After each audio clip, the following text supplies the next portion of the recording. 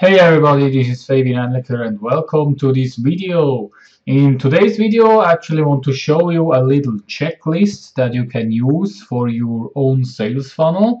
So in case you have already your own sales funnel with uh, let's say a squeeze page where you collect the email addresses and then you also have a sales page with your own product or maybe you are you are um, selling a PLR product that you are allowed to sell or whatever and then you also have your download pages where you provide your products that people bought. Um, this is something that you really need to know. There are some things that you always have to check when you set up a sales funnel and this is what I want to quickly show you. I have here a checklist for your sales funnels and by the way this is actually a bonus that I have in one of my own products uh, attached. So I have a product which is about sales funnels. So it's actually a, a package where you get uh, some templates together that you can use to create your own sales funnel. And I also explain how you can create a, a sales funnel there. And this is one of the bonuses that you get there, the checklist itself. So I want to quickly walk you through the checklist and tell you what is really important to check when you have done your sales funnel before you send um, before you start sending traffic. So first of all that you need to check excuse me is the squeeze page. So there are different things that you actually should check before you start sending traffic. So first of all actually is you have to check if the opt-in works. So whatever autoresponder you use, if it's GetResponse or Aweber or whatever, you need to set up a new campaign there or a new project depending on on the the tool you use or the, the provider you use it's it's called different but um, let's say you are with uh, GetResponse then you set up a new campaign and then you have uh, actually your web form where you collect email addresses. So what you should do on your squeeze page, go ahead and opt in with your name and your email address and then check on the autoresponder if the email address is really added to the list. So and Normally after a sign up you redirect either directly to a download page or if you have an offer then you want to redirect to your offer. Also check this one if this is all working. So you opt into your squeeze page and then see if you are redirected to the page that you want to show up then. Then next one is the welcome mail. Check if the welcome mail is sent out. So try it with a real email address so you can check the email if you have it in your inbox. And depending on if you're using an exit pop-up on your squeeze page, then you also have to check this one. So see if the pop-up comes up with the right text in there. Depending on the browsers, it could look different. Some browsers might not show the real text. They just give you a pop-up with uh, do you really want to leave the, the, this page? Then you have to choose yes or no and in other browsers you could specify your own text. So check also this one. And then if you click on stay on page see if you are redirected to the right page then. So then the next one is a buyers list. So you should also create a buyers list where you put the people on who buy your product. So this is something really important um, people who just opt in on your squeeze page, you put them on a, let's say, a freebie list. And if you have an offer behind your squeeze page and people buy your product, I would then put those people on a, on a separate list. You can call it buyers list or whatever, but you just need to know that this is your buyers list and then also remove those people from your freebie list because you don't want to to market them with the product that they actually already bought. So this is also essential that you change those people in the list. then there are different actually possibilities how they get on your buyers list. One thing that you can do is you just create a new squeeze page after they bought the product. You put on a new squeeze page where they have to opt in, give you give their name and email address so they are on your new buyers list. Another thing is that you can use API that works with most of the providers I would say especially or for sure with GetResponse and Aweber. And um, what you can do is actually, if people pay with PayPal, you can define this directly in PayPal. So if somebody pays the amount of money, they will be put directly on a list that you define. This happens via the API um, connection or interface. The same you can also do with JVZoo. If you put on a product on JVZoo, you can also define it there. But you have to activate the API interface, for example, with GetResponse. Then also with the with the buyers list, check if the email address works. So do the opt-in, see if you get redirected to the right page. So let's say uh, somebody buys your product and they after they paid, they need to be redirected and they also need to be put on your on your new buyers list. So check this one. And then also if your email goes out to the to the right email address and also of course with the right text. Automation. So that was what I just mentioned before is that if someone buys your product, you want them to remove on the freebie list and have on the buyers list. In GetResponse, this is called automation. You can um, set up some rules where you can define this. So best is if you are if you have GetResponse or Aweber, you just log in there, you go to the help and search for that. So it's actually easy to set up. You just need to know where to do and how to do it. But this is also something that I would really recommend. Take away the people from your freebie list and don't market them anymore with a product that they already have bought. Then emails, next one, also very important. Check all the emails that are sent out by your autoresponder. So for example, with GetResponse, you can actually send out every email that you want to to a test email address. So just take any of your email addresses send it to this email address and then in the inbox check everything. So first of all the sender. Do you have defined the right sender email address and name? In GetResponse for example you can define several email addresses and names. So just be sure that you have the right sender in there. Then the structure of the email. Does it look good and is it readable?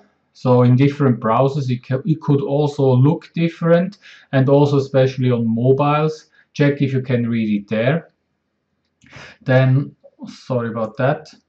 Check also if all the links are working in the in the email. So if you have set up affiliate links, check if they are really going to the product, if you get the, the clicks or if they even buy something there, if you get the commission. I mean, you normally can check that in an affiliate network. Just, just click on the link and then you will see if you got a click or not. And then also, um, normally if you just send it out via GetResponse, the link is cloaked anyway, so you don't see the direct link. So people will not see if this is a, an affiliate link or not. But depending on the, the tool or software that you are using, check if you see affiliate links or not and if you want to use nice URLs to to have people not realize that it's an affiliate link maybe. Then also be sure that you define all the emails that you send out also as a plain text email. So not all the people are using HTML. So if you only define your mail as an HTML and somebody wants to open your email with a normal plain text they cannot read it so it's actually an easy thing in GetResponse for example you just need to click a link and then you can import the whole text from there So you send it out as plain text and also as HTML. Then check your sign off, especially I mean, whatever you want to write in the end is uh, to your success, all the best, best regards, whatever. Especially if you send out promotion emails that you have maybe from an affiliate platform and you just copy and paste them. Sometimes they they say um, to your success and then you see your name. So change your name to your real name. Just be sure that you have your name in there. And then, of course, in general, check for typos. People probably do not like it too much if you have too many typos in the email. Then exit pop-ups. As I mentioned before, very use exit pop-ups either on squeeze pages or you can also use it on a sales page or on a download page. Check if the message is shown properly in all the browsers and if it redirects to the right page. Same as I said before with the squeeze pages, but you can also use exit pop-ups for download pages or sales pages, so also check them there. Then let's go to the pages itself.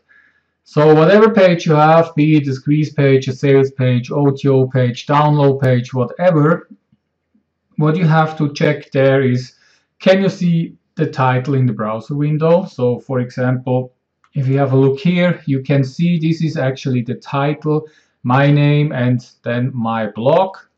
So wherever you have an own page check if you see that here in the tab if you have um, defined the right title Meta tags, if you want to use them and do a little bit of SEO with your with your pages, um, also check them.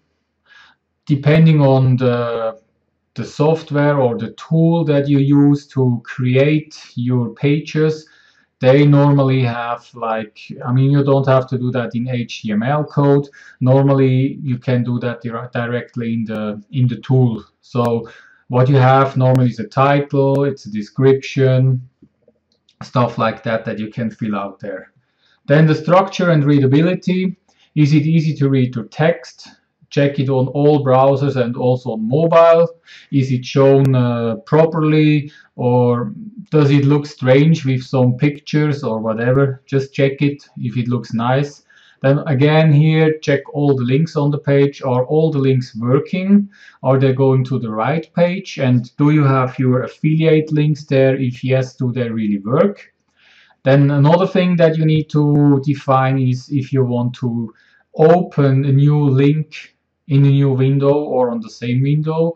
What I normally do is I actually want to open it in a new window. So especially if they are on a download page or on the sales page.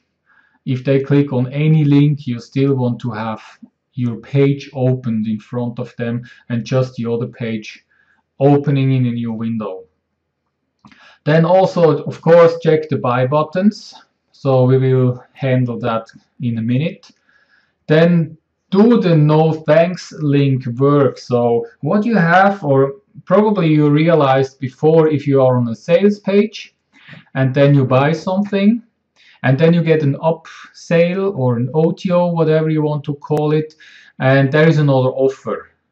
And if you scroll down on the bottom of the page, normally you always have the possibility to say, no, I don't want to have this offer. I just wanted to buy the product that I did before.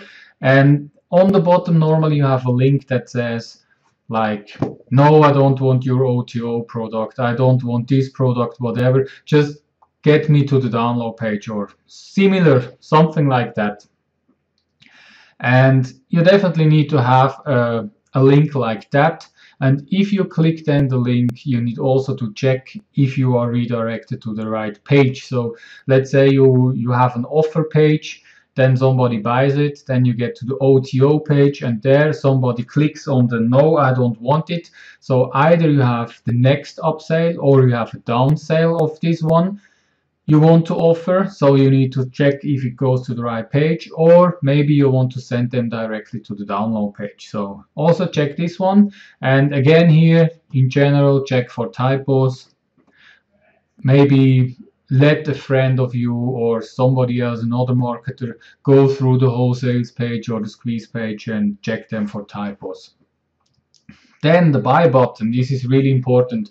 If your buy buttons do not work, you will definitely not make any money because they cannot pay. So in the example of PayPal, most of the people they use PayPal, especially if you start out, it doesn't cost you a lot. It's just a small fee that you have to pay to PayPal. Um, first of all, what you need to check is the right amount of money there. So as soon as you click on your buy now button, you should be redirected to PayPal and you will immediately see the amount of money that you have to pay. So this is one thing. Then it could also be that someone um, logs into PayPal and then in the last moment before they actually pay, they decide, oh, okay, I, do, I, I don't want to buy it. And they hit cancel. And then you also need to check where will they be rerouted. So you can define this in PayPal, for example, when you create the buy buttons. So just be sure that you do not redirect them to the download page before they really paid. So what you normally do if they cancel, just bring them back to the offer page where they have clicked on the button. And then when the purchase is done, so they have paid, then you also need to check if they are redirected to the next page that you want to show up. So it might be an upsell or a next offer or you want to redirect them to the download page, also check this one. So you can actually test a purchase with PayPal in different ways. One thing, and this is really the probably safest thing, you just buy your product with another PayPal address. Maybe you have a second one, or then you ask a friend who has a PayPal address and you buy the product. And what you can do is then with your PayPal address where you get the money, you just give a refund. So in this case, you can be sure that it works with the right amount of money and it just costs you a little fee for the refund. So it's just some cents. The other thing is that uh, you can adjust your buy button on PayPal and put it on one cent and you buy it then. So you pay only one cent for the product, but you see if it's working. And there is another possibility, so-called developer access to PayPal, where you can test your purchases. I personally haven't tried it yet, so I can't tell you how it's working. I guess it is definitely working because they have the possibility, but uh, as I said, I haven't tried it. So these are actually the three possibilities that I know you can try with a test purchase. Uh, for example, if you have a product on JVZoo, excuse me, they have also the possibility to do a test purchase, which is then also done with one cent. So also there you can actually test it directly on JVZoo. And of course, if you don't use PayPal, whatever payment processor you use, you need to do those checks to be sure that the right amount of money is actually used and all the redirections of the of the buy buttons are working. Then the last one is uh, tracking. Always track your traffic or also things on your page like downloads to see what works best. So here are some ideas on what you can track with any software. So one thing I would definitely do is track the conversions on your squeeze page for every traffic source. So let's say you you have five different solo ads. So you also would send out five different links to the solo send, uh, seller. So you can then track it in your tracking software to see which solo brought in the, the most conversions and then even sales.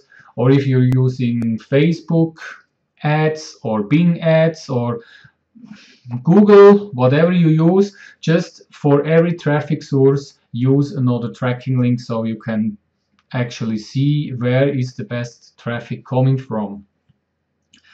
Then what you also could track is uh, how many people who opt in do actually buy your product. So it could be that you have a conversion rate of 30% on your squeeze page and then if you redirect those people directly to an offer page, you want to see how many people on the offer page do actually buy the product. So this you can also do with a tracking link.